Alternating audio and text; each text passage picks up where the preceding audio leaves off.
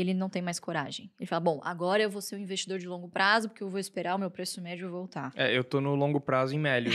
É, eu também tô. Melios, Banco Inter e Magalu, eu tô longo prazo. É, mano. não, Por bro. falta de carregar opção. 50 anos aí. Virou longo prazo por falta de opção. Virou assim. longo prazo. Pois é, mas se fosse por convicção, por exemplo, como aconteceu. não, tô falando assim, é uma crítica construtiva. Sim, sim. Usando aquele exemplo da, de 2013, quando a Dilma assinou o MP 579, que foi considerada, assim, o- literalmente o 11 de setembro do setor elétrico.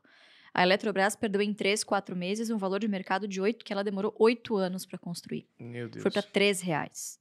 Então, você imagina quem construiu um patrimônio nesses 8 anos, de repente você vê Eletrobras a 3 reais. Você teria coragem de comprar? Ele comprou. Só que hoje o papel tá 42, Ah, não. 43. O meu papel cai, a minha Melis caiu, eu não comprei mais. Cara, o negócio é pegar uma cadeira no escritório do lado do Barça, cara. O que ele estiver comprando, você já fica olhando. Ou né, então, mano? ou então cara- telefone. Muito, é Ou muita então quilometragem rodada. Não Ou a telefonar, manda um WhatsApp. Vou te passar, vou te dar uma dica melhor. Se Eu você fizer quero- um MBA, provavelmente você não Ah, vai precisar da cadeira. Você teria comprado, do lado cara. Nossa, cara. Eu quero que vocês sejam eh, os primeiros. Veja bem, o que o mercado ensina. O que o mercado me ensinou nesses últimos eh, dez meses. Ele me ensinou que a referência de mercado mudou. Você sabe o que é, qual era a referência do mercado? O que fazia com que o papel subisse? Era a referência de mercado. Por exemplo, Overnight. uma empresa, ela registrava um lucro extraordinário. Era uma referência para o preço subir. Tá certo? Uma empresa divulgava um dividendo fantástico. Era uma referência para subir. Uma empresa acenava com a possibilidade eh, do seu faturamento ser muito superior ao que era em virtude de uma de uma de uma de, uma, de um aumento de produção. Era uma referência. Essas referências deixaram de ser referências. Você sabe qual é a nova referência do mercado? A locação. É locação é a nova referência de mercado. Por quê? Se você tem um papel que você percebe que a locação dele aumenta, aumenta, aumenta, aumenta, ele não vai subir. Lamentavelmente, se você pegar a relação, é um desafio que eu faço para você. Mas se você for pegar o que hoje tem de locação, você vai ficar surpreso. Mas qual é a lógica disso? Porque, por um lado, se tem muita locação, eu penso, em algum momento eles precisam zerar o papel e precisam colocar uma pressão compradora. Por outro lado, tem muita locação, tem muita gente que analisou um papel e acredita que de fato ele está caro. Então, isso aqui pode pressionar para baixo. Qual é Mesmo lógica? não estando caro, Você acha que tem uma influência ali? É, é, é, é, eu acho que o pessoal, as instituições, que, que, é- que é uma gama de instituições, eu posso até falar, é XP, UBS, Genial, eles operam vendidos. Então, se, se eles, se eles vislumbram a possibilidade de um papel ser alvo de uma, de uma, de uma, de uma estrutura de venda, tá certo? Eles lo- colocam as ações e vão para frente. Então, você veja bem. ah, a IRB chegou a ter 450 milhões de ações locadas. O mercado, por muito, por muito, por muito ativo que ele esteja, ele não tem estrutura para comprar 450 milhões de ações de um papel. A, a Cielo já chegou a ter 180 milhões de ações locadas. Então, qual é o meu, qual é o meu, o meu sentimento? Quando o cidadão, quando eu vejo que o papel começa a aumentar a alocação, é porque alguém está vendendo. Eles estão vendendo. Então, o que, que acontece quando a alocação sobe? O papel cai. Tá certo? Por quê? Porque está sendo direcionado para o mercado. O papel cai. O que, que eles fazem? Se ele vendeu aqui, ele vai comprar aqui. Então, na hora que ele começa a comprar, a locação diminui, porque ele está recomprando. Está entendendo? Então, o papel pode até não subir. Está entendendo? Pode até ficar parado. Agora, é um movimento calculado, porque essa espiral de baixa, ela ela está acontecendo não é num papel só, é em inúmeros papéis. Então, se você pegar a relação dos papéis que são alvos de locação, é fantástico. Se você fizer uma somatória de tudo aqueles, de todos aqueles valores que foram direcionados para o mercado, você vai chegar numa conclusão triste, muito triste. E boa ao mesmo tempo, porque ela te gera uma oportunidade. E Tá tá entendendo? buscando. Você veja bem.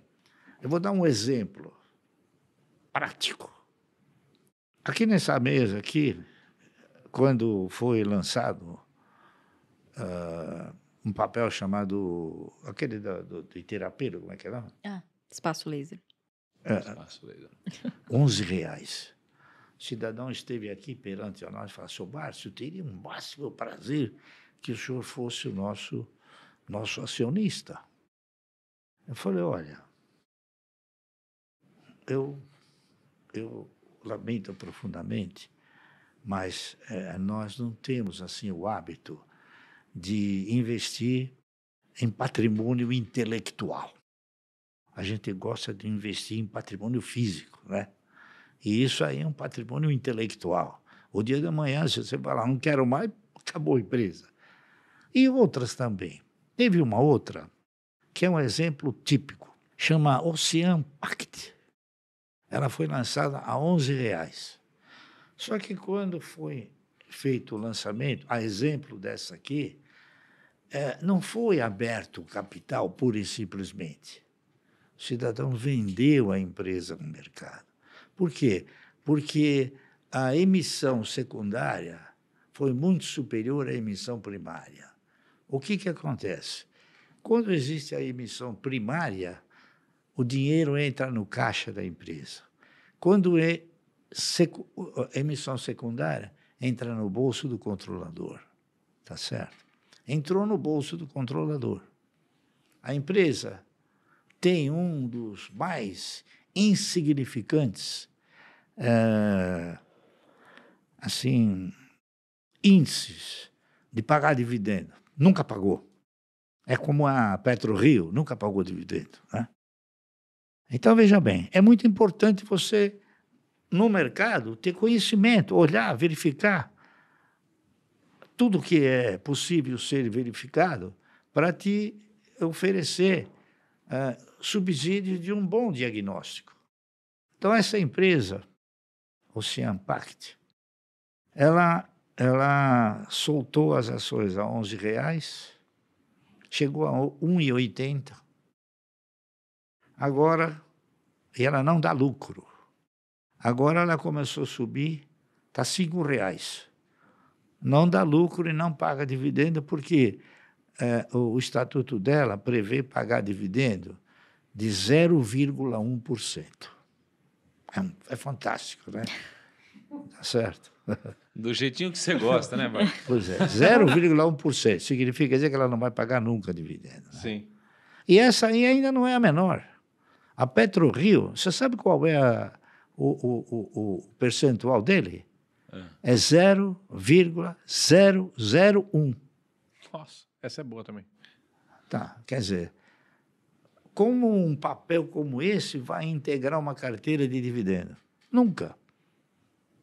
Então, você ter conhecimento no mercado é muito importante. Você ter o quê? Você conhecer todos os subsídios que a empresa pode te oferecer. Tá certo? Muito bem. Essa empresa hoje custa cinco reais. Ela não paga dividendo e não, e, e- e não dá lucro. Pelo menos até agora não deu lucro. Aí você pega um outro, um outro parâmetro. A Cielo, por exemplo, foi uma empresa que já chegou a ter um resultado anual acima de 2 bilhões e pagava um ótimo dividendo. De dois anos para cá, a Cielo vem intensificando, intensificando as suas atividades, porque ela foi muito penalizada, uh, principalmente aqui em São Paulo, Depois quando o governo acabou, acabou fechando quase que todas as pequenas empresas, não é isso? E não permitia aglomeração, até no supermercado você era, era possível, era proibido ir. O que, que aconteceu? A Cielo veio ganhando espaço progressivamente, 2019, 2020, 2021, 2022 ela já deu 1 bilhão e 400 milhões de lucro. Existe uma previsão do Santander, que eu suponho sejam pessoas que tenham gabarito, de que ela provavelmente chegará a um resultado de 2 bilhões. E veja bem, ela paga dividendo trimestral. Tá certo? Custa R$ 4,40, R$ 4,50. Por quê? Porque tem quase 100 milhões de ações alugadas. Uhum. Entendeu? A Ocean Pact não tem ações alugadas, praticamente. Sim. Então, a alocação, lamentavelmente, ela hoje é a referência de mercado. Então, a gente acompanha via essa. Então, esse é um exemplo prático, típico de que o resultado não é mais a referência principal. Falando em algumas histórias tristes. Isso né? ninguém falou no mercado. Isso ninguém fala. E você é. vai ver que vai se acentuar. Essa lógica você diz de ações alugadas, que fazem uma ação talvez cair de preço ter uma oportunidade, né? Qual que você acha que foi a razão que, que detonou o preço do Bradesco? Bradesco? Ações alugadas? Alocação. Quase 300 milhões de ações alugadas. Caraca. É. Bom, gente, nós vamos utilizar aqui o simulador histórico do AGF+, tá? Que é uma uh, ferramenta muito interessante, tá? Que a gente consegue ver como é que uma ação performou no passado. Então a gente vai usar o ativo Cielo 3, que é justamente o que o Barsi comentou no vídeo. Esse investidor teria investido aí 50 mil reais sem fazer nenhum novo grande aporte mensal, tá? Então apenas uma única atacada lá de 50 mil em janeiro de 2018, tá? Até agora, julho de 2023, totalizando então cinco anos de investimento, o que a gente já pode aí considerar um investimento de longo prazo, né? Então, vamos aos resultados. Então, olha só, gente, não foi um bom investimento né, nos últimos cinco anos, tá? Patrimônio acumulado, olha só como ele se corroeu, foi para 12.519 reais. O custo de aquisição aqui está somado aqueles 50 mil iniciais, mais o reinvestimento dos dividendos, que deu 5.300. O que a gente efetivamente tirou do bolso foram mesmo esses 50 mil. Acumulamos aí 2.776. Então, olha só, né? Então, olha só, aqui a gente vai ver o gráfico. Dos 50 mil iniciais, ele chegou a 55 mil, só que aí acabou se corroendo. A gente sabe, né? Até por quê? Porque o mercado de máquinas de cartão de crédito, qual a Cielo faz parte, ela está aí com uma grande competitividade, a gente sabe, né?